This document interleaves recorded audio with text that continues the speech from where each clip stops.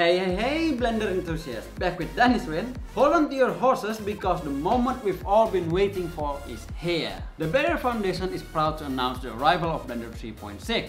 Beta it is. And trust me, this is not your ordinary Blender. It's a 3D software powerhouse. Haha. now, I know you're itching to get your hands on this juicy update, so let me guide you. To get your hands on this shiny new version, head over to blender.org Scroll all the way down and click on the Download Blender Experimental button and hey, don't get distracted by the Blender 4.0 alpha that are nearby and lurking. We are all about the beta excitement today. Now, here's the inside scoop. Blender 3.6 is all about performance. It's like giving your Blender a turbo boost. We are talking smoother blends, faster rendering, and more powerful under the hood system. Alright, let's dive into Blender 3.6 beta. Prepare to feast your eyes on the brand new splash screen. it's like the cover art of blockbuster animation brought to you by the talented folks at Blender Studio. As you enter the magical world of Blender 3.6, you might notice that things look pretty similar to 3.5. But hold on to your default cube because there are some fantastic new features waiting for you. Say goodbye to tab confusion. The tab now show their names and there's even a tooltip to make scrolling through them a breeze. It's like speed dating for tabs, but without the awkward conversation. And for all of you grease pencil enthusiasts out there, rejoice! Blender 3.6 lets you filter things based on grease pencil objects in the outliner. It's like having a superpower to organize your creative chaos. And remember that frustrating moment when you couldn't find your recent projects in Blender Open Recent menu? Well, fear no more. Blender 3.6 has boosted the default size to 20 items, giving you the power to revisit your past adventures with ease. And that's not all. Blender 3.6 Beta introduced a handy new feature, the Notch Editor.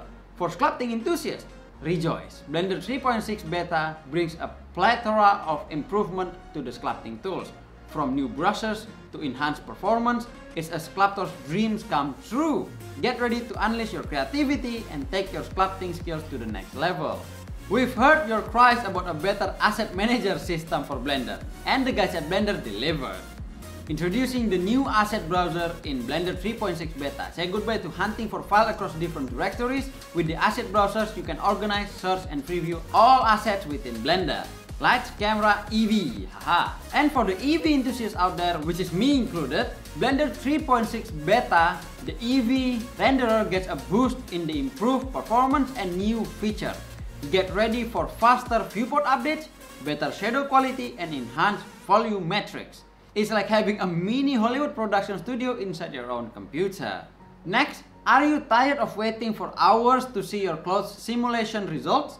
Well, wait no more. Blender 3.6 Beta introduces real-time cloth simulation, allowing you to use your cloth object reacts in real time as you tweak the setting. It's like having a magical fabric that responds to your every command. Now, calling to all video editors out there, Blender 3.6 Beta gives a much needed facelift to the video sequence editor. With improved performance and a sleek new interface, editing your videos in Blender has never been smoother. It's like having a Hollywood editing suite in the comfort of your own home. Again, all in one package, which is Blender. So what are you waiting for? Get your hands on Blender 3.6 Beta now and embark on your own 3D journey. So that's all for this video. This video might not cover everything about Blender 3.6, but don't worry, we are coming up with more video to focus on one or two subjects of Blender 3.6 beta that are coming. So yeah, don't forget to keep tuning in and don't forget to like and subscribe and share this to your friend if you find this useful. But this is it. Bye!